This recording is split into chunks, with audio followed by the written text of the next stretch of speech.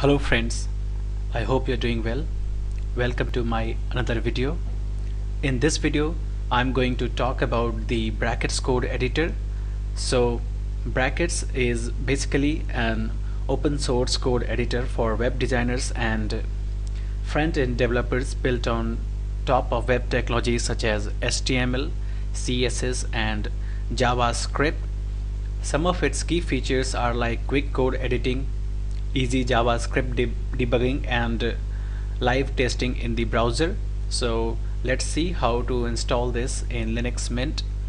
To install, open the internet browser and just type the URL here brackets dot io hit enter go to the download so just click here to download the Debian package of brackets. So I have already downloaded this. So I'm going to close the browser and let's move to the download folder where I'm having that Debian package.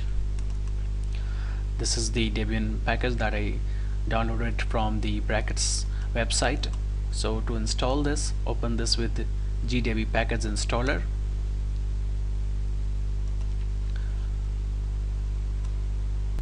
click on install package. Give your password here.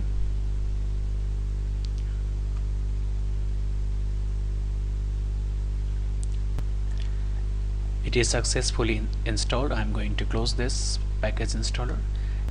So next just uh, click on menu and search here brackets. There it is. Let me launch this. So this is the brackets code editor and by default it is showing here index.html page.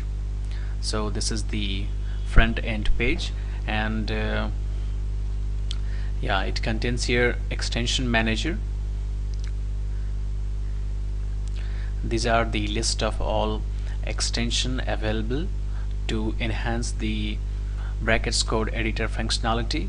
So you can install any one of this that you will need in your code. So another thing is here the live preview.